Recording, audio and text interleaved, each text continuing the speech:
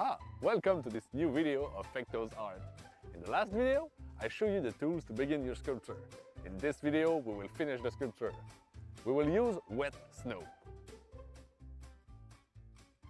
A big advantage with the snow sculpture is that you can always add snow to your sculpture. I will prepare some wet snow.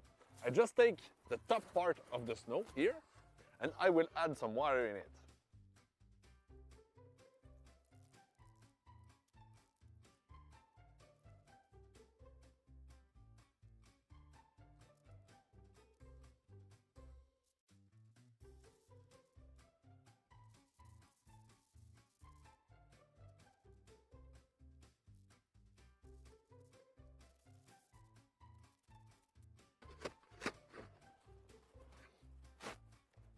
It is very important to clean up very often with the shovel.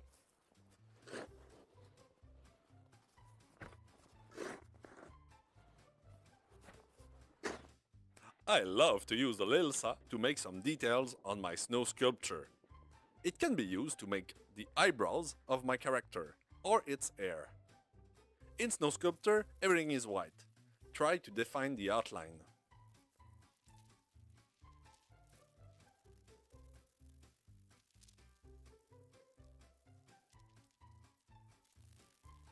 We used the snow that was molded in the garbage bin to make the hat.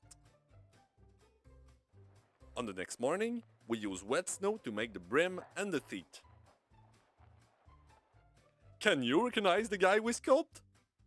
Yes, it's Glamu the Ice Marmot, the Ice Hog's cousin.